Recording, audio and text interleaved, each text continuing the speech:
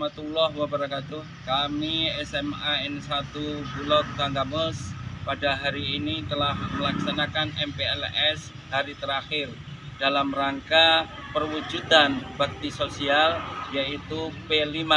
Mudah-mudahan kegiatan MPLS pada tahun ini diberkahi oleh Allah Subhanahu wa taala dan sebagai pembelajaran untuk kemasyarakatan. SMA Negeri 1 Bulog mengadakan kegiatan masa pengenalan lingkungan sekolah atau disebut MPLS untuk para siswa baru ajaran tahun 2023 sampai tahun 2024. Acara pengenalan itu dilangsungkan bertempatan di kampus SMA Negeri 1 Bulog Kecamatan Bulog Kabupaten Tanggamus Lampung. Kegiatan MPLS itu akan dilangsungkan selama tiga hari ke depan, yang dimulai tanggal 17, 18 dan diakhiri Rabu tanggal 20 Juli tahun 2023 dengan mengambil tema perkembangan potensi diri yang berkarakter dan menyenangkan, bersahabat secara maksimal dari rumah.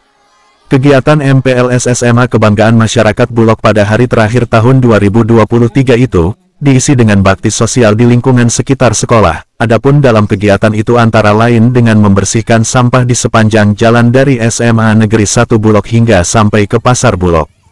Kepala Sekolah SMA Negeri 1 Bulog, Dr. Andus Haji Muntaha MPD yang selalu mendampingi giat para siswa baru itu mengatakan bahwa kegiatan MPLS itu di hari terakhir ini merupakan perwujudan dari pengenalan siswa tentang P5, di antaranya proyek, penguatan, profil, pelajar dan Pancasila, dengan harapan para pelajar sepanjang hayatnya untuk belajar dalam menghadapi kompetensi global dan dapat berperilaku sesuai dengan nilai-nilai Pancasila. Dalam hal ini berupa kegiatan karya hanya untuk warga, katanya di sampah yang kotor. Maka dua, kemudian yang kedua menumbuhkan menumbuh kembangkan pembelajaran yang baik. Ya, nanti di pelajaran kurikulum merdeka ini kita akan menggali semua potensi di lingkungan kita pembelajaran. Halo.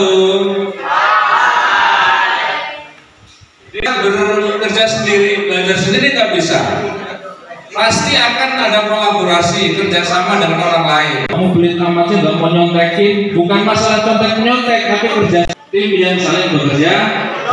Haji Muntaha pun menambahkan dan berharap bahwa kegiatan MPLS ini dapat diberkahi oleh Allah Subhanahu wa Ta'ala, dan kegiatan masa pengenalan lingkungan sekolah ini dapat bermanfaat sebagai pembelajaran para siswa untuk masyarakat banyak, ujarnya kepala sekolah di akhir penjelasannya.